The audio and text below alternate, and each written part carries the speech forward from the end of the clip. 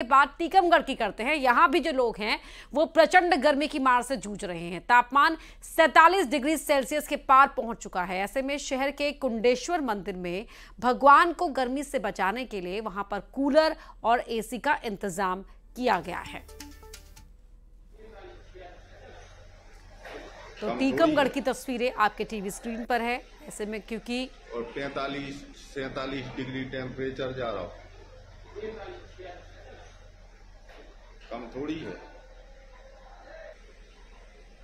और पैंतालीस सैतालीस डिग्री तो भगवान। को भी यहाँ गर्मी ना लगे इसीलिए यहाँ पर एसी और कूलर का इंतज़ाम किया गया है।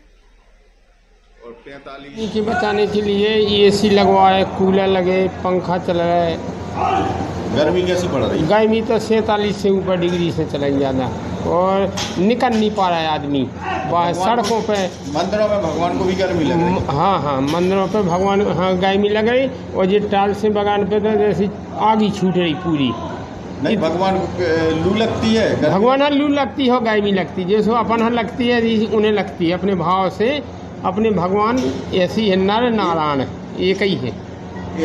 इसलिए बचाने के लिए। इसलिए बचाने के लाने ए सी लगवाई, कूलर लगवाए, पंखा चल रहा है, और अब ठंडक है इतने मंदिर पे।